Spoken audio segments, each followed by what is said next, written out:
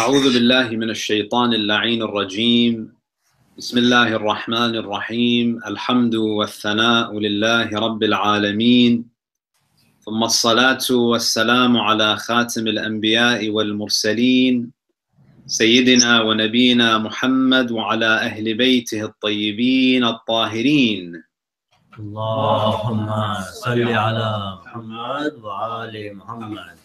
ولعنة الله على أعدائهم ومنكر فضائلهم من الآن إلى قيام يوم الدين رب اشرح لي صدري ويسر لي أمري واحلل عقدة من لساني يفقه قولي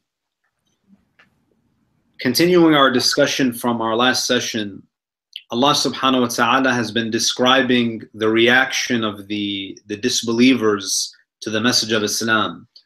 And in ayah number 25, there's a continuation of this description and specifically of the psyche of those, uh, the Meccans who are listening to the Holy Quran. Allah subhanahu wa ta'ala in ayah number 25, if you turn to it, Allah says, وَمِنْهُمْ مَنْ يَسْتَمِعُ إِلَيْكَ وَجَعَلْنَا عَلَى قُلُوبِهِمْ أَكِنَّةً أَن يَفْقَهُوهُ وفي آذانهم وقرا وإن يروا كل آية لا يؤمنوا بها حتى إذا جاءوك يجادلونك ويقول الذين كفروا إن هذا إلا أساطير الأولين Allah says among them meaning among the Meccans among the polytheists so not all of the kuffar this is a very specific group of disbelievers, arguably, arguably the most hostile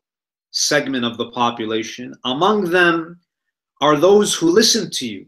So you see that they're actually listening to the Quran. But what's the problem? What's the reaction? But we, here the we is a reference to Allah. Allah says, We have placed coverings over their hearts such that they do not understand and in their ears a deafness. Were they to see every sign, they would not believe in it. So that when they come to you, O Muhammad, they dispute you with, they dispute with you, they argue with you. Those who disbelieve say, This is nothing but fables of the past. Now, the con- you see in this ayah, Allah subhanahu wa ta'ala speaks about this idea of hearts that are sealed, hearts that are covered with veils, in such a way that these individuals have reached a spiritual state whereby they're unable to even comprehend Allah's message, the divine message that has reached them. Now, there are many verses in the Holy Quran that that reference this concept of hearts being sealed, hearts being dead, hearts being covered and veiled. As an example, if you go to Surah Al Baqarah, verses 6 and 7, Allah subhanahu wa ta'ala says, إن الذين كفروا سواء عليهم أأنذرتهم أم لم تنذرهم لا يؤمنون Indeed, those who disbelieve, those who vehemently reject the truth, it's the same. Whether you warn them or you don't, they will not believe. And then in ayah number seven, ختم الله على قلوبهم وعلى سمعهم وعلى أبصارهم غشاوة ولهم عذاب عظيم. Allah says that He has sealed their hearts and their ears and their eyes with a veil. And for them is a severe and a great punishment. Now, when you read this verse, the first question that you should ask is why is the act of veiling and covering and sealing the hearts attributed to Allah? You see, Allah subhanahu wa ta'ala, it's as though He takes credit for the sealing and the covering of their hearts. Allah says, as I read, وَجَعَلْنَا We have placed a covering on their hearts. وَجَعَلْنَا عَلَى قُلُوبِهِمْ أَكِنَّةً And this veil, this cover that's on their heart, it makes them unable to comprehend the truth.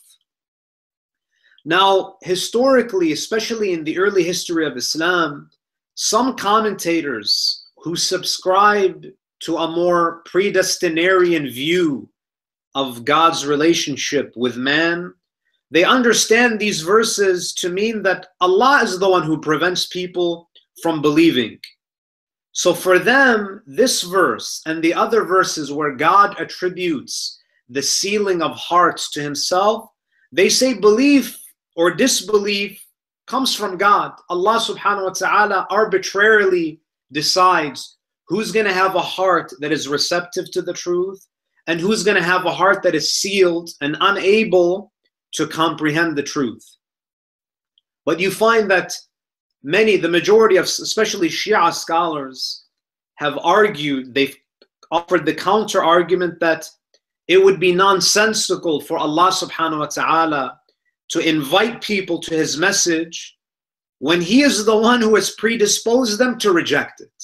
It would be meaningless for Allah subhanahu wa ta'ala to send prophets, to send messengers, when he arbitrarily is going to choose whether someone is has a sealed heart or a heart that is prepared to embrace the truth.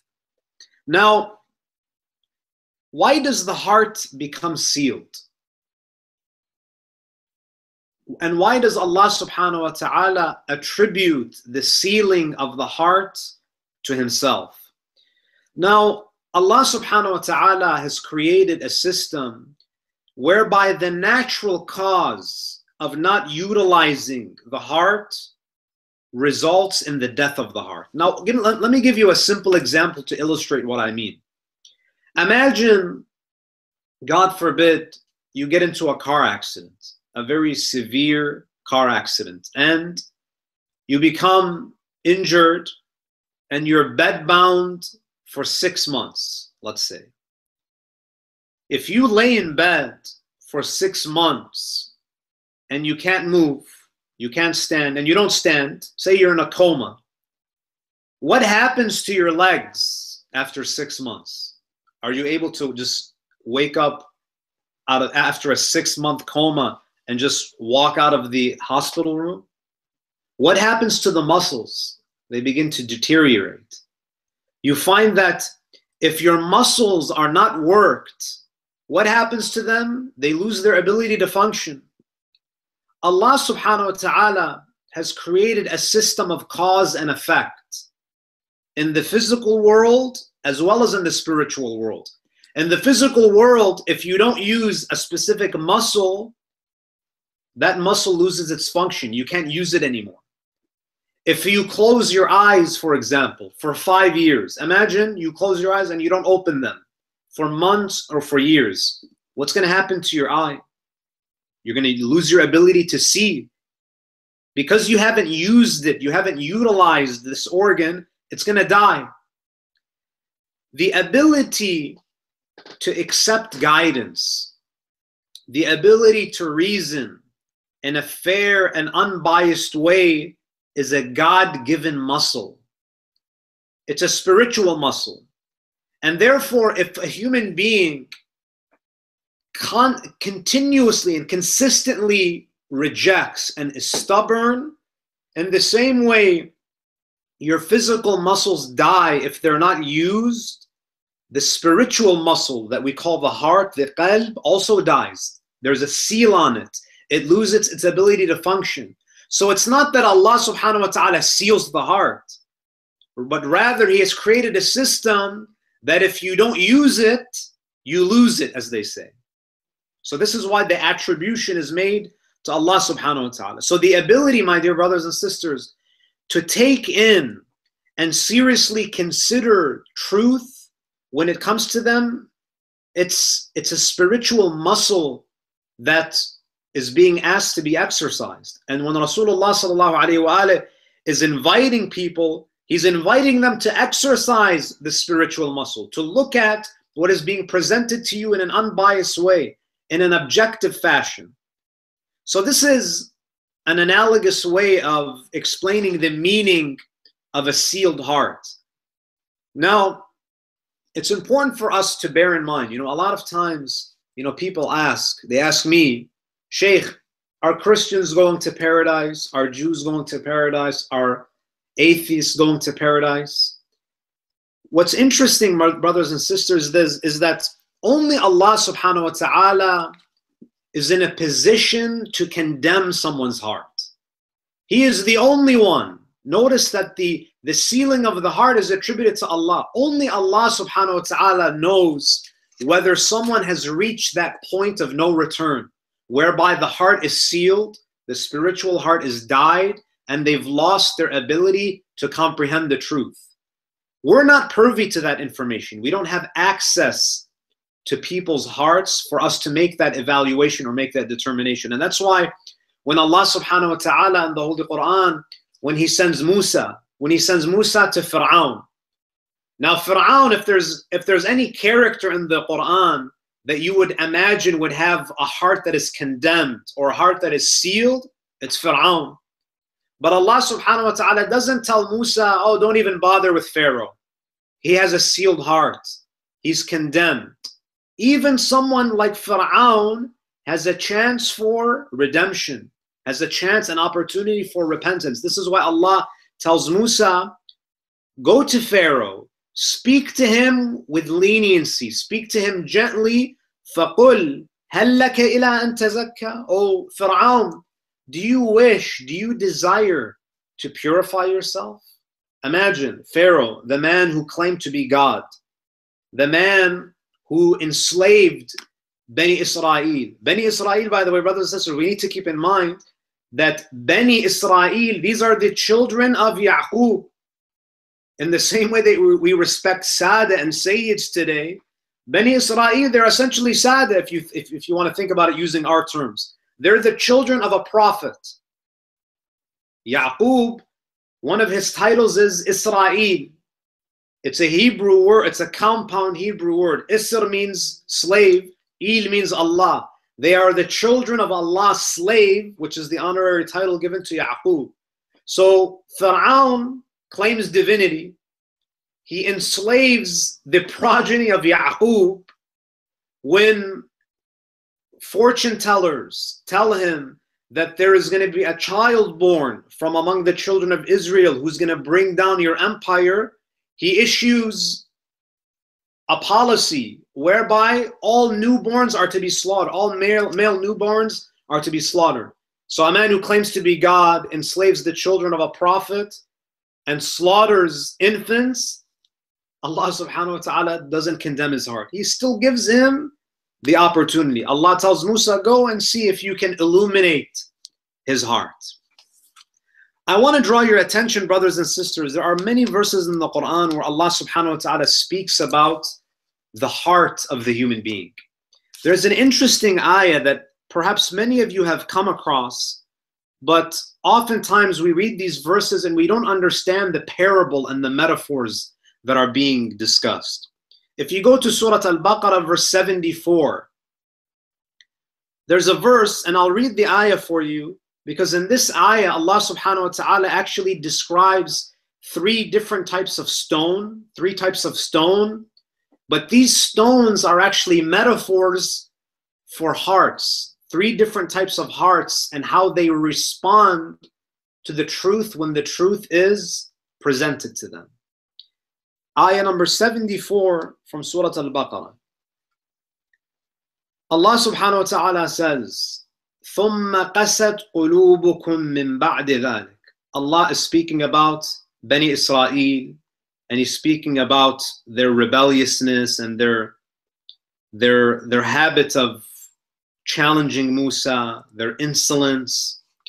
Allah says, then your hearts became hardened after that, after your persistence in rejecting the truth. فَهِيَ كَالْحِجَارَةِ and therefore your hearts have become like stone أو أشد قسوة or even more or even more hard than stone and then Allah subhanahu wa ta'ala describes three types of stones وإن من الحجارة لما يتفجر منه الأنهار For indeed there are stones from which rivers burst forth. So I want you to count with me. This is the first type of stone that's being described. We're talking about stones which rivers burst forth from. And then Allah subhanahu wa ta'ala, number two, وَإِنَّ مِنْهَا لما يشق لما يشقق فيخرج منه الماء and there are stones that split open and water comes out وإن منها لما يهبط من خشية الله and some of them some stones fall down from fear of Allah so the stones so the first type of stone there are stones from which rivers burst forth, number one. There are stones that are split open and water comes out of it. And there are stones that fall down from fear of Allah. The stones in this ayah are actually metaphors for hearts. Three kinds of stones are parables for three types of hearts. You take the first heart that is mentioned. وَإِنَّ مِنَ الْحِجَارَةِ لَمَا يَتَفَجَّرُ مِنْهُ الْأَنْهَارُ This is a reference, you know, brothers and sisters, there are some people who are thirsty to know the truth. They're thinkers. They have this intellectual curiosity. When such people are exposed to Islam and they have they're sincerely pursuing the truth, when such people are exposed or introduced to Islam, they submit immediately. It's a quick process, and their hearts gush with faith. An example is Abu Dhar, Salman al Farisi. Salman al Farisi, Abu Dhar, when they meet the Prophet, within a few moments, they embrace faith and they're overflowing with Iman. They're like the stones that water bursts through them water here in this ayah is is a, a metaphor for faith the water of faith penetrates into them deeply and it bursts through them so this is the first type of heart the second type of heart or the second type of stone وإن منها لما يشقق فيخرج منه الماء the first stone broke open on its own. Water caused it to burst. The second stone doesn't open on its own. It has to be cracked open for the water to flow through. When someone, brothers and sisters, is distracted in life, even if they're good people, there are many people who are good, they're decent hearted people, but they're very distracted by dunya and you can't get their attention. They're so engrossed in this worldly life that the only way that they come to Allah is what? Something has to shake them up in life. They have to experience a personal tragedy. They have to get ill. They have to experience a financial crisis. They have to lose a loved one. There has to be some type of tribulation that they go through and that tribulation cracks them open, it shakes them, and then what happens? Then water comes out. Then the iman comes out of them. The first type of heart, it breaks open on its own. The iman itself is enough. Here, there has to be an external force that breaks them for the water to come out. So the first rock bursts open on its own, and rivers come out of it. There's more water that comes out of it. Because if you go to the ayah, Allah says, وَإِنَّ مِنَ الْحِجَارَةِ لَمَا يَتَفَجَّرُ مِنْهُ الْأَنْهَارُ Rivers come, burst from it. وَإِنَّ مِنْ The second is وَإِنَّ مِنْهَا لَمَا يَشَقَّقُ فَيَخْرُجُ مِنْهُ الْمَاءُ Water comes out. What's more, rivers or water? Here, the second group, there's less water that comes out. And they have to be shaken. Someone like Hur, Hur ibn Yazid al-Riyahi, he had to be shaken up a little bit for him to recognize the truth, for him to embrace the true faith.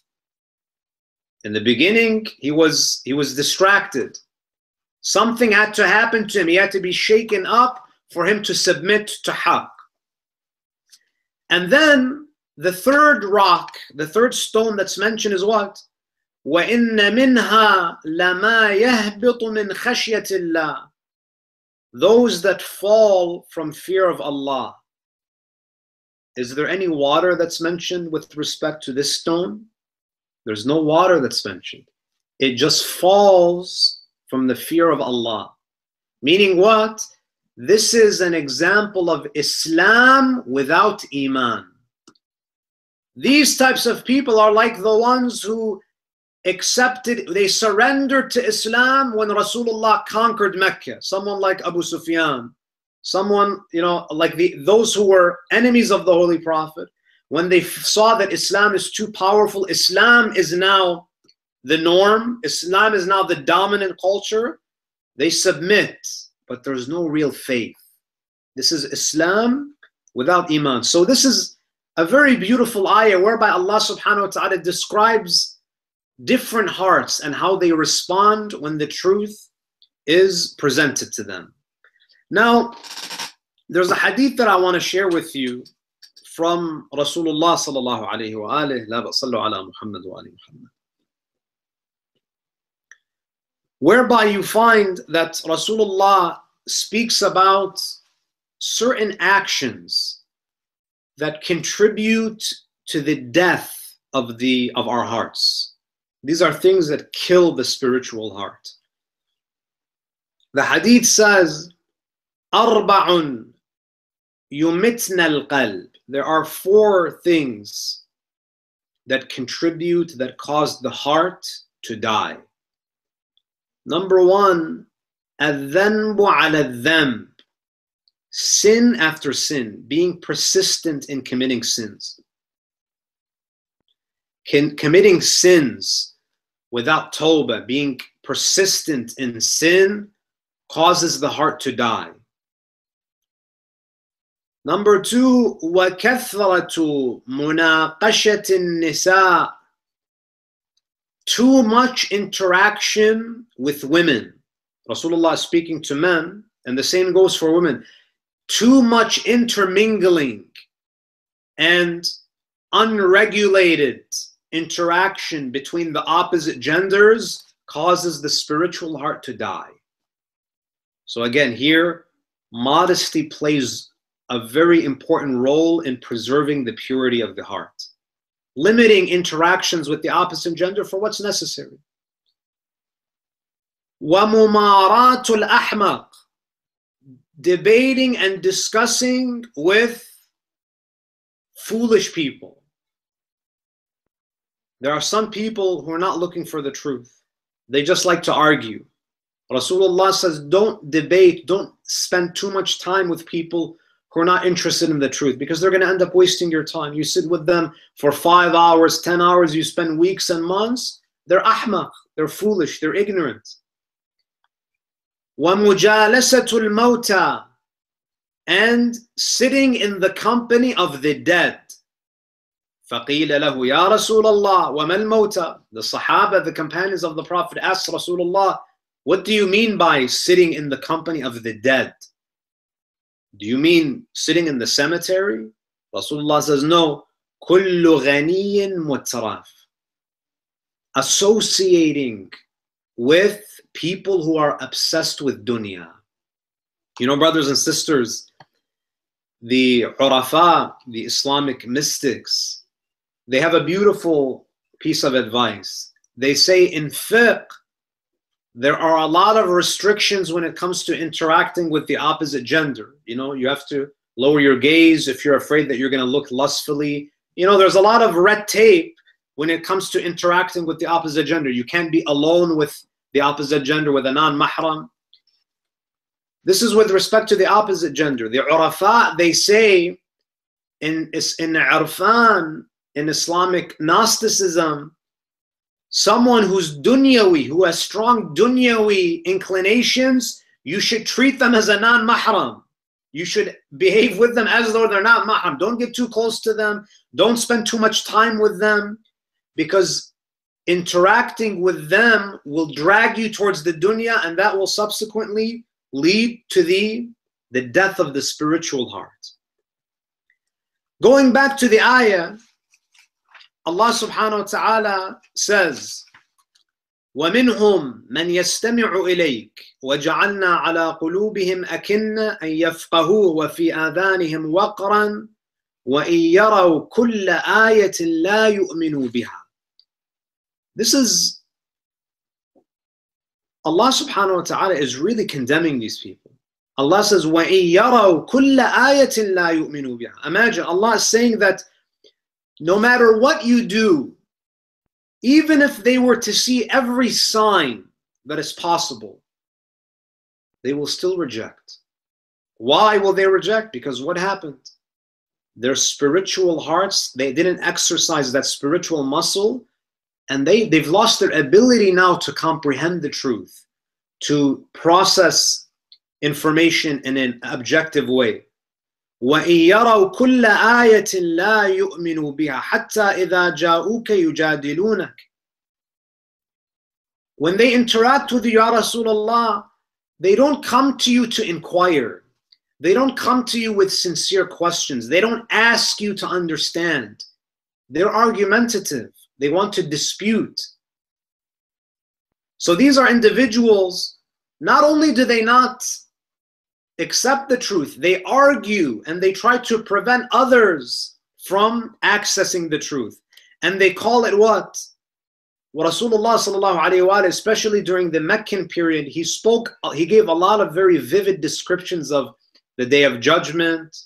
He spoke about paradise and hellfire and the, the phenomenon of resurrection the, the kuffar of Mecca, they would say that all of these stories, all of these descriptions, they're nothing but asatirul awwaleen, folklore, fables of the ancient past.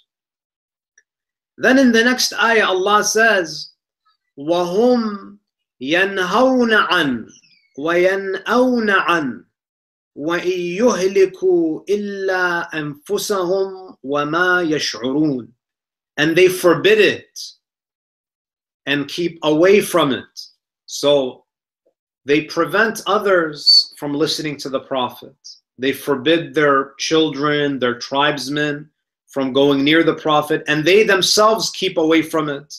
You know, as though Rasulullah has a disease that they're afraid of contracting. And they destroy none but themselves. They're not hurting the Messenger of Allah if the, the, slandering, the hostility, the aggression that they're directing towards the Holy Prophet, thinking that they're destroying Muhammad, Allah saying that you're destroying yourself. The Holy Prophet is a spiritual physician. You are the ones with spiritual ailments. He's inviting you to take the medicine to cure these ailments. You're destroying no, no one but yourselves, but they're unaware. Notice that the self destruction that is taking place is happening now it's not that it will happen. The consequence of rejecting truth is not something that you will experience in akhirah. It's happening now, but what's the problem? But you're not aware of it. It's very sad as I was preparing this uh, this lesson for today, I found it was very unfortunate to find that there are some commentators of the Quran that claim that this ayah ayah number 26, is a reference to Abu Talib. And they say their understanding is when Allah says, and they forbid it, meaning they forbid that Abu Talib forbids anyone from harming the Prophet and keep away from it. So Abu Talib forbids anyone from harming the Prophet but he himself, he keeps himself away from Islam. And they destroy none but, them, but themselves, though they are unaware. So, as someone who protects the Prophet, so Abu Talib, according to their understanding, they say this ayah, in this ayah, Abu Talib protects the Prophet and he forbids any harm from reaching the Prophet, but at the same time, he distances himself. He distances himself from the teachings of the Holy Prophet. Now, all Shia scholars reject this opinion. And even a large number of Sunni scholars like Ibn Abil Hadid, who wrote a, exhaustive commentary on Nahjul Balagha, he also rejects that this ayah references Abu Talib. Now, what are the proofs that Abu Talib alayhi salam was actually a believer? You know, if someone presents this ayah from Surah uh, Al-An'am and says, look, you know, this ayah is, is a proof that Abu Talib was among the mushrikeen, he was among the kuffar. You know, as a side note, even the Arabic doesn't fit because the ayah begins with wahum and the pronoun has to go back to the, uh, the, the previous ayah where Allah subhanahu wa ta'ala is speaking about the kuffar. So it doesn't make sense that this pronoun would be a reference to Abu Talib. But in any case, there are some proofs that the ulama have put forward to establish that Abu Talib was indeed among the faithful. So one example is, one proof is, as you know, brothers and sisters, the Meccans used to make two trips, two business trips throughout the year. One to Yemen during the winter time, and the other uh, trip would be to Sham, to Syria. Abu Talib was a merchant and he would go to Sham. On one occasion, when Rasulullah was about 12 years old, Abu Talib took his nephew with him. He took the Holy Prophet with him.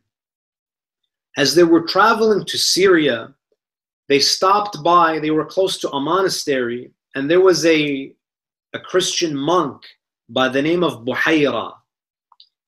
Now, this Christian monk was looking at the Holy Prophet from a distance. Rasulullah was about 12 years old.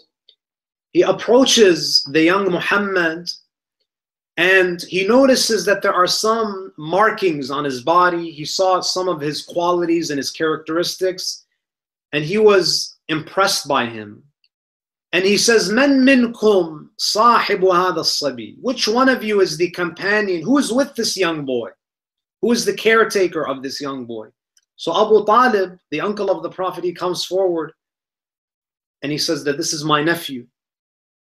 Buhayra, the, the Christian monk, tells Abu Talib, إن لهذا الصبي شأنا إنه النبي الذي أخبرت به وبرسالته الكتب السماوية that this child has a bright future this young boy is indeed the prophet, a prophet of God who has been prophesied in the Holy Scriptures. So Buhayra tells Abu Talib that make sure you keep an eye on him, make sure you protect him. And when the Holy Prophet was an infant, even before this, and this is recorded by historians, Sunni and Shia, that when a famine struck uh, Mecca, Abu Talib was the son of Abdul Muttalib, the son of the chief of Quraysh. So, so they came to him and they said, Abu Talib, there's a famine, there's a drought, our cattle are dying. We need, we need you to supplicate to Allah subhanahu wa ta'ala. What does Abu Talib do? Abu Talib brings the young Muhammad, who's an infant. He goes near the Kaaba. Abu Talib raises Muhammad up in the air and he makes a dua. He says, Ya Rab, بحق هذا الغلام أسقنا غيثا مغيثا دائما. Oh Allah, oh my Lord, for the sake of this infant child, send down upon us abundant rain. And after a short while, historical accounts say that the clouds uh, gathered, the, the clouds came together, and it began to rain heavily. So here Abu Talib, Abu Talib could have picked up any child, but he understands that there's something unique about this Muhammad. Long before the Holy Prophet announced his messengerhood. Number two, so you find that there are signs of Abu Talib's faith even before the Holy Prophet began his prophetic mission. Number two, if you look at the Diwan of Abi Talib, Diwan is the collection of poetry. You know, Abu Talib was a, a very talented poet, and he had a collection of poems. In fact, Abu Talib was the one who recited the nikah on the day that Rasulullah married Khadija. He was the one who officiated that marriage. And on that day, when, uh, when Rasulullah married Khadija, Rasulullah was about 25 years old. Again, you're talking about 15 years before Al-Ba'th al-Nabawiyah. Abu Talib, he recites some poetry, and I'll read just two lines of this poetry, which shows us that not only was he a believer, but it seems Abu Talib has ilmul ghaib. He knows the future of his nephew. He says, ولقد علمت بأن دين محمد من خير أديان البرية دينا. He says, indeed I know that the religion of this Muhammad is the best of religions among religions. And then he says, ألم تعلموا أنا وجدنا محمدا رسولا كموسى خط في أول الكتب He says, don't you people know that we have found Muhammad to be a messenger similar to Musa, the messenger of Allah, who is mentioned in the scriptures of the past. Abu Talib has about 3,000 lines of poetry that has reached us, that has been transmitted to us, and there are many references to his, his deep devotion to the Holy Prophet and to the religion that he was propagating. So this is number two. Number three, a third proof of the Iman of Abu Talib is what? When Abu Talib dies, Rasulullah grieved so intensely that he cried out, Wa abata, he calls Abu Talib his father, even though he's his uncle. He says, Oh my father, wa, wa Aba Taliba, wa hazana, ya man rabbaytani saghira, oh the one who brought me up when I was younger. Wa ajabtani kabira, and you responded to my call when I was older. You took care of me when I was a boy, when I was a child, and you responded to my call when I was older. وكنت عندك بمنزلة العين من الحدقة والروح من الجسد. Oh, you were to me like the soul is to the body. And Rasulullah he says, ما نالت مني قريش شيئا أكرهه حتى مات أبو طالب. Rasulullah himself he says, I did not, uh, Quraysh did not reach me with any harm. They did not harm me until as long as Abu Talib was with me. As soon as Abu Talib died, you find that what happened? The assassination plot is formulated, and this happens after the death of Abu Talib. So when Abu Talib is there, Rasulullah sallallahu is protected. Number four is there's a, a beautiful hadith where Imam Zainul Abidin, salawatullahi alayhi, it's brought to his attention that there are many in the Muslim community in Medina who hold this belief that Abu Talib was a disbeliever.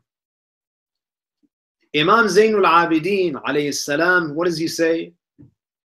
إن هنا قوما يزعمون أنه كافر وعجبا كل العجب Imam Zainul Abidin, he says that it seems that there are people who claim that Abu Talib was a kafir. The Imam says, this is indeed something that's astonishing. أيطعنون على أبي طالب أو على رسول الله Imam Zainul Abidin, he says, by claiming that Abu Talib is a kafir, are they slandering Abu Talib or are they slandering Rasulullah? What does the Imam mean by this? He explains. وقد نهاه الله أن تقر مؤمنة أن تقر مؤمنة مع كافر. Allah subhanahu wa ta'ala legislated that a believing woman cannot remain married to a disbeliever. A mu'mina, a Muslim woman cannot remain with a kafir. Rasulullah sallallahu alayhi wa would dissolve any marriage where there's uh, a believing woman who's married to a, an idol worshiper. Rasulullah would nullify that marriage. ولا يشك أحد أن فاطمة بنت أسد من المؤمنات السابقات. Imam Zain al-Abidin, he says, there is no one that doubts that Fatima bint Asad, the wife of Abu Talib, the mother of Ali ibn Abi Talib, was one of the early believers. فإنها لم تزل تحت أبي طالب حتى مات أبو طالب. Imam Zain al-Abidin, he asks, did Rasulullah dissolve the marriage of Abu Talib and Fatima bint Asad? He didn't. Which is an indication that what? That Abu Talib was a mu'min. He was, he was a believer. Otherwise, he would have dissolved that marriage just as he dissolved the marriages of others. Imam Zain al-Abidin alayhi salam says, this is proof that Abu Talib alayhi salam was among the believers.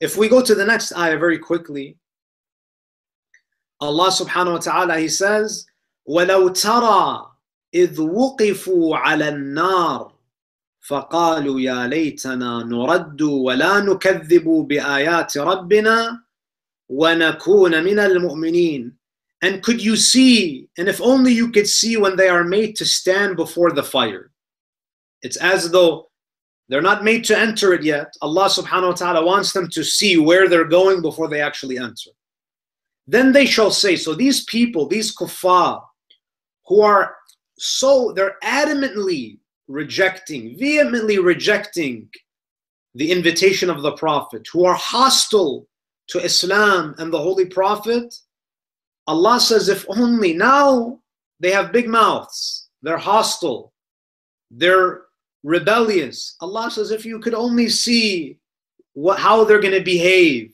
when I put them in front of Jahannam, what are they going to say? فقالوا يا ليتنا نرد ولا نكذب بآيات ربنا ونكون من المؤمنين. They're going to say, would that we were sent back. They're going to be pleading with me. Allah, they're going to be begging me, please send us back to the dunya. Give us another chance. We will not reject your signs, O our Lord, and we will be among the believers, the same believers that we were fighting against. And persecuting, we will be one of them. Now, you would think that this is a true statement, that when someone sees Jahannam, they'll make real tawbah. But subhanallah, Allah in the next ayah, what does He say? بَلْ بَدَا لَهُم مَا كَانُوا يُخْفُونَ مِنْ قَبْلِ No, what they concealed before shall become manifest. Some mufassirin, they say that this could be a reference to the munafiqeen, this could be a reference to the sins and the plotting that they used to they, that they used to do in, in secret. Allah says everything that you used to hide and do in secret and conceal will be made manifest. The day of judgment, as Allah says, يَوْمَ تُبْلَ السَّرَائِرُ The day of judgment is the day in which the secrets will be divulged. And then Allah says what? They're making a claim here that if I send them back to dunya, they will repent and they will be among the good doers and they will not reject the truth. But look at what Allah says. وَلَوْ رُدُّوا لَعَادُوا لِمَا نُهُوا عَنْ Allah says, and if they were sent back, if I answered that dua, if I if I if I answered their request, they would certainly go back to which they were forbidden. وَإِنَّهُمْ لَكَاذِبُونَ They're liars. That you see, even when they see Jahannam, this tawbah that they're doing is a fake tawbah. It's not sincere. It's not a real spiritual awakening. This is their natural reaction to seeing something fearful and frightening like Jahannam. Allah says, if I send them back, if I send Abu Jahl, Abu Sufyan, Muawiyah, all these people, if I send them back to dunya, they're going to do the same thing. They're going to go back to their ways. We ask Allah Azza wa Jal to bless us and to guide us and illuminate our hearts with the teachings of Muhammad wa Ali Muhammad. وصلى الله على محمد وآله الطاهرين اللهم صل على محمد وآل محمد We have some time, a little bit of time for questions if anyone has any questions or comments.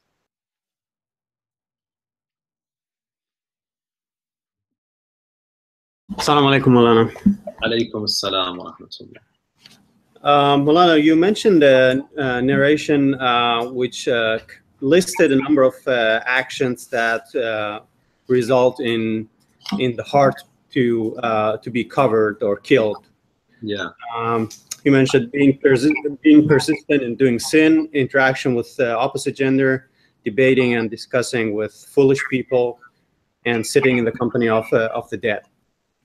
So now these are um, these are things that are recommended to not do. Uh, what I would like to know is uh, what is now on the on the other side. What can we do? Uh, which actions can we do to basically have a uh, um, to distance ourselves uh, even furthermore um, from from having a, a heart that is covered? So, so you're essentially asking, so this is what kills the heart. What revives the heart? Is this Correct. So I'll share with you a couple of ahadith where the Imams of Ahlul Bayt actually speak about uh, what you know what actually uh, revives the heart. So, for example, we have a hadith in Bihar al-Anwar where Allam al-Majlisi actually quotes Luqman. Luqman, as you know, he's mentioned in the Holy Quran, and we actually have some traditions that say that he was so pious that he was actually offered nubuwa. He was offered the position of prophethood, and his response is what? That if my Lord is commanding me to take on this, this position, then I submit. But he, if he's giving me the choice to be a prophet or not, I choose not to be because I don't want the burden of nubuwa on my shoulders. In any case, Luqman, he gives advice to his son, and he says, Ya bunay, جالس العلماء وزاحمهم بركبتيك فإن الله عز وجل يحيي القلوب بنور الحكمة كما يحيي الأرض بوابل السماء So Luqman, he says, Oh my son, oh my dear son, sit in the company of scholars so much that your knees touch theirs. For Allah subhanahu wa ta'ala revives the hearts with the light of wisdom, like the earth is revived with the rain from the sky. So, one practical thing that we can do is make an effort to establish relationships with ulama, be around scholars, because knowledge, this godly wisdom, revives the heart in the same way that rain revives the earth.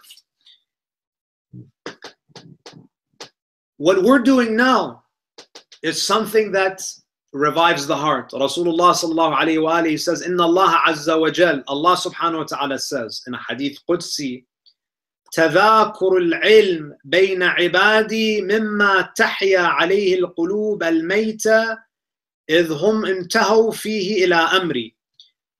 Rasulullah says, Allah says, the discussion of knowledge among my servants revives the dead hearts if by it they seek to fulfill my command.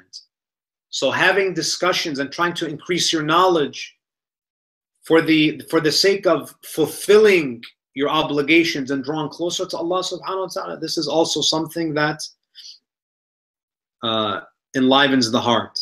أمير المؤمنين عليه السلام, he says, لقاء أهل الخير عمارة القلب. Meeting with righteous people, you know, being in the company of mu'mineen, it enlivens the heart, it revives the heart. Allah's dhikr, you know, so if, if you look at the opposite of, of what the Holy Prophet mentioned in this hadith, so persistent sinning causes the heart to die. What's the opposite of persistent sinning? Righteous action after righteous action. If adhanbu ala dhanb kills the heart, amal salih after amal salih does what? It revives the heart.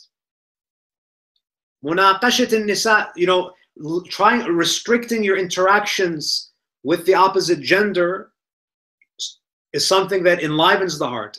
Interacting loosely with the opposite gender kills the heart.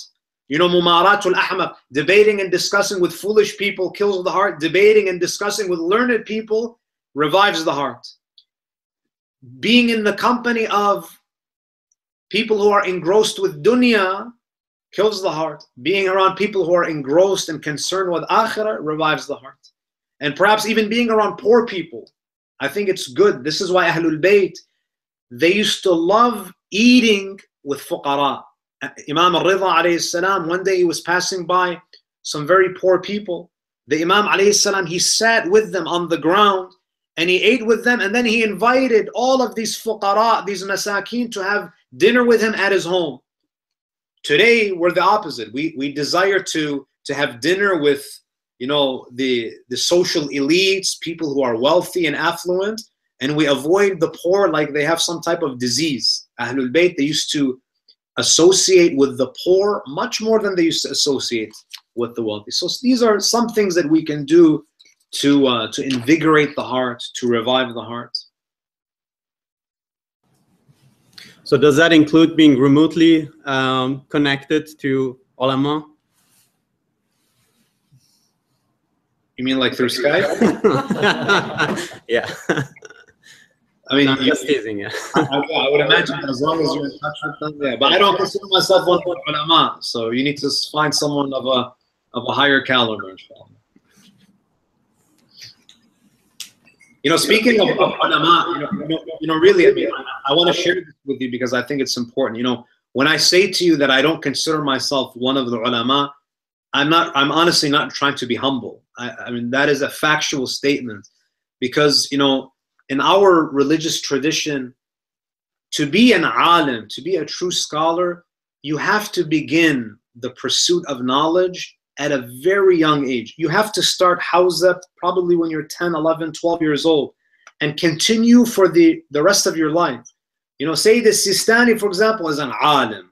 Sheikh Wahid al-Khurasan, these are ulama because they've spent a lifetime gaining knowledge. You know, someone like me, I, I take a little bit from here, a little bit of there, and I share with you some of the things that have benefited me in hopes that you know we can have a discussion and and and progress together. So you know, really, when I say when we talk about ulama, we have to know what that means. And you know, this this imama that I wear is just you know an indicator that that I I'm making an effort to seek knowledge, nothing more than. Sheikh, uh, you mentioned that like, um, is it an Islamic ruling that if a pious woman is married to a kafir man, then the, that the marriage should be dissolved? Or is it just, you know, because like what popped in my mind was the story of um, Hazrat Asya and for um, Yeah. I was just curious. Now, now you, you have to bear in mind that perhaps in that sharia it was permissible. But in the sharia of the Holy Prophet, you know, if, if a Muslim woman wants to marry a non Muslim, even if you bring the biggest ayatullah to do the nikah for you, the nikah is batil, it's invalid. So, and even if you're married to a Muslim man and say he decides to become an atheist, the, the marriage is dissolved. The marriage dissolves, and you have to, you, you're, so it's not even that a divorce takes place. You, you basically, your idda, your waiting period after that, after your spouse becomes a kafir, is the waiting period of four months and 10 days, which is the waiting period of a woman whose husband dies. It's the same idda. So the marriage immediately dissolves if this if the if the spouse abandons Islam. So this this is an actual ruling. Now with the case of Musa of uh, Asa and Pharaoh, there was you know Musa there was a legal system that governed that area at that era that's different from the uh, the legal uh, system that the Holy Prophet introduced. Perhaps this was something that uh, was different from the Sharia of Musa. So it's so it's permissible for a, a Muslim man to marry a non-Muslim woman.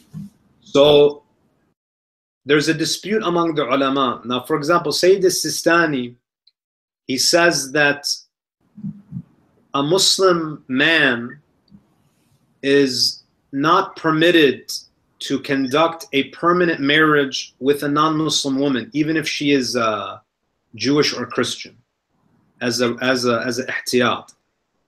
He's permitted to have a temporary uh, marriage with with a Jewish woman or a Christian woman, but permanent marriage, Sayyid Sistani says, is a precaution that should be avoided. So you have to refer to your marja.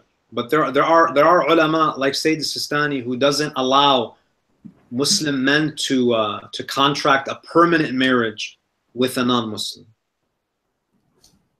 Thank you so much. I will do that. Thank you so much. Please keep me in your dua, inshallah, and I look forward to seeing you this coming weekend, inshallah. Thank you so much. Thank you very much. Thank you. Thank you.